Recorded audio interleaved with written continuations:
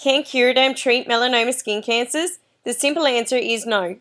Melanomas metastasize far too quickly to be treated with Curaderm, but hopefully there's hope around the corner.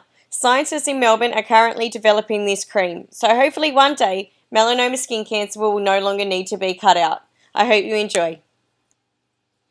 Melbourne scientists say they're well on the way to developing a cancer killing cream for melanoma.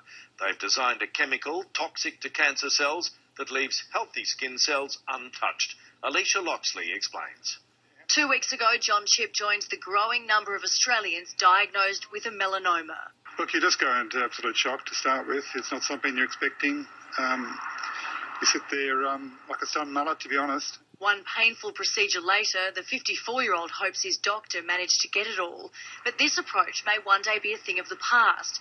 Melbourne researchers have developed a chemical that imitates a virus toxic to melanoma. With the first experiment, when I looked under the microscope and I saw the, the cancer cells dead, I was so excited. Something is happening. The only effective way to treat early stage melanoma now is surgery. But these scientists believe their chemical, RRM-MV, could be developed into a cream to kill the cancer cells while leaving healthy skin cells untouched.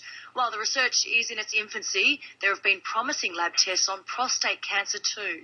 Australia has the highest incidence of melanoma in the world. Around 11,000 new cases are diagnosed every year, and melanoma accounts for 75% of all skin cancer deaths. A cream that could um, be applied at home um, without the surgery, without the time away from work or home or family would just be a, a real revelation. Alicia Loxley, Nine News.